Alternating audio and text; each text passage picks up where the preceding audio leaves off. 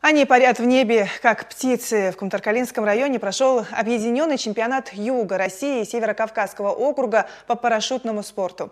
Продемонстрировать свое мастерство приехали спортсмены из 11 регионов страны. Дагестанским парашютистам удалось показать лучшие результаты в командных прыжках на точность приземления. Людей, которые умеют летать, увидела и наш корреспондент Севрина Шамхалова. Это больше похоже на танец в небе, но в парашютном спорте это называют «делать фигуры». Преодолевая ветер, спортсмены делают спирали и сальто почти в облаках. Шесть фигур за 10 секунд на высоте 2200 метров. Иначе ты провалил задание. Но спортсмены легко с ним справляются.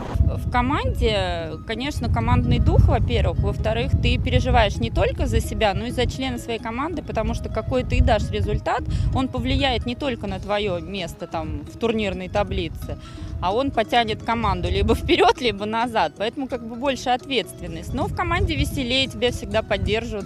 Соревнования Южного федерального округа по классическому парашютному спорту проходят в Дагестане на территории аэродрома в Картмаскале. Всего в чемпионате участвуют спортсмены из 11 регионов страны. Состязание состоит из двух видов упражнений – индивидуальной акробатики и прыжков на точность приземления. Это когда, прыгнув с высоты 1 километр, парашютист должен попасть ногой, носком или пяткой в круг диаметром всего лишь 10 сантиметров. Чтобы приземлиться и показать результат на точность приземления, они должны на электронный э, блин, ну он так называется, электронный блин, 16 сантиметров э, в диаметре.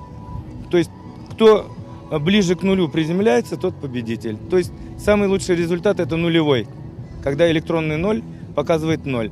Каждый сантиметр промаха – штрафной балл. В этом году самыми точными оказалась дагестанская команда. Ребята приземлились почти без помарок. Волгоградские спортсмены заняли второе место, Владикавказ – третье. Сами парашютисты говорят, что зритель видит лишь эффектные приземления, но все самое интересное за облаками. Правда, шагнуть в небо решаются не все. Зато если получилось, то становишься зависимым на всю жизнь. Не хватает той, той самой капельки адреналина, которую получаешь за определенный прыжок. И все равно какая-то частичка вот есть, которая тянет.